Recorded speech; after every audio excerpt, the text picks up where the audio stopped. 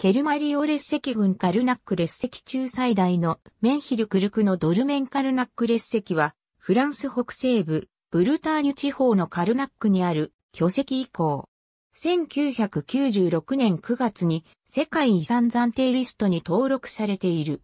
カルナック列石はブルターニュ地方最大の巨石以降で巨大なメンヒルが総延長をおよそ 4km にわたり数列に並んでいる3つの列石群からなる。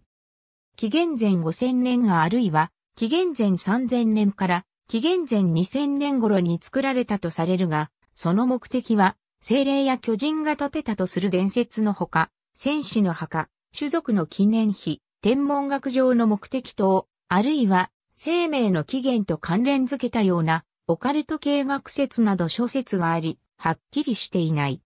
スコットランドの巨石飛行研究者のアレクサンダートムが提唱した古代の天文学装置であるとする説や、ヘルムート・トリブッチの提唱した新気楼の観測所であるとする説などが主流である。カルナック列石に関連のあるとされる古墳が近辺に多く見られ、聖ミシェル古墳などが知られている。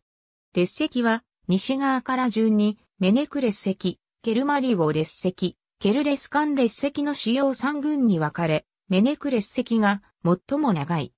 カルナック列石の構成情報縦位指数に関しては、研究者によって記述が異なっており、年代をヘルマに破壊されたり、取り去られたりしたものと考えられる。メンヒルの大きさは現存するもので、最小50センチメートル、最大6メートルであるが、かつては20メートルを超えるものも存在したとされる。数メーター間隔でメンヒルが並ぶメネクレス赤群。ありがとうございます。